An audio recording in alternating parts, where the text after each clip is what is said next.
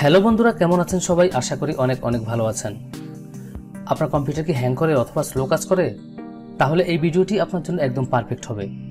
একটা স্লো কম্পিউটারকে কীভাবে পাঁচটার মধ্যে হ্যান্ডেল করা যায়, তার কিছু টিপস আমি প্রথম ভিডিওতে আপনাদের সাথে শেয়ার করেছিলাম। এবার আরও কিছু টিপস নিয়ে আমি দ্বিতীয় ভিডিওটি তৈরি করতে শুরু করেছি আপনাদের জন্য। তো চলুন শুরু করি।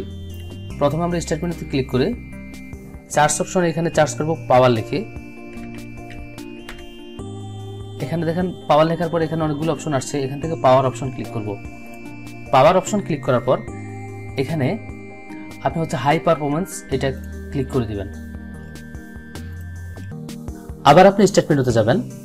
স্টেট মেনুতে গিয়ে সার্চ অপশনে লিখবেন সার্ভিস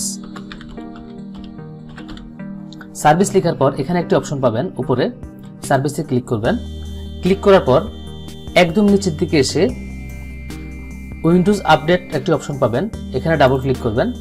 ডাবল ক্লিক করার পর স্টার্টআপ টাইপ যে অপশনটি আছে, এখানে আপনি, আপনার এখানে নর্মালি অটোমেটিক থাকবে, এটাকে আপনি ডিজেবল করে দিবেন।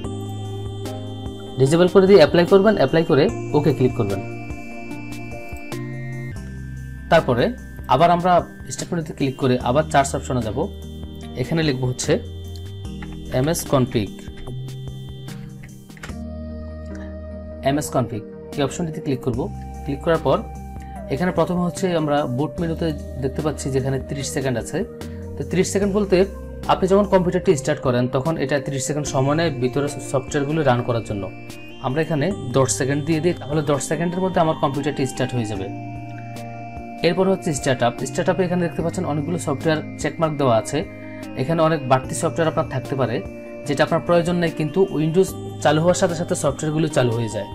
সেক্ষেত্রে এগুলো আপনি টিকমার্ক তুলে দিতে পারেন। তুলে দিয়ে অ্যাপ্লাই করবেন অ্যাপ্লাই করে ওকে দিবেন।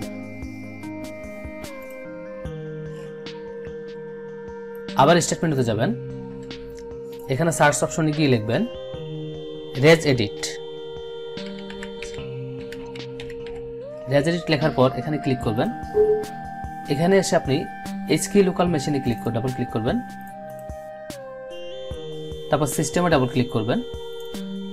তারপর হচ্ছে কারেন্ট কন্ট্রোল সেটে ডাবল ক্লিক করবেন। তারপর কন্ট্রোলে ডাবল ক্লিক করবেন।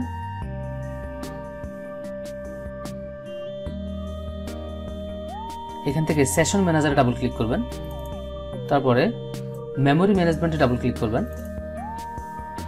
করার পর প্রিপেড প্যারামিটারসে ডাবল ক্লিক করবেন। তারপর এখানে ডান পাশে এসে এনাবেল সুপার প্যাথে ডাবল ক্লিক করবেন। করার পর এখানে থ্রি দেওয়া আছে, আপনি এটাকে জিরো করে দিবেন।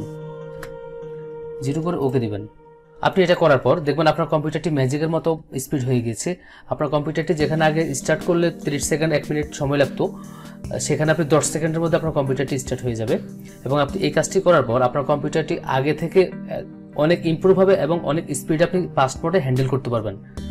আরও অনেকগুলো টিক্স আছে, আমি এগুলি পরের পর্বে শেয়ার করব, কারণ ভিডিওটি অনেক বড় হয়ে গেলে আপনার কাছে বোরিং মনে হবে, সে কারণে এই ভিডিওটি আজ এ পর্যন্তই। ভালো থাকবেন সবাই। পরবর্তী টিউটোরিয়াল আমন্ত্রণ জানিয়ে এখানে শেষ করছি। আল্লাহ হাফেজ।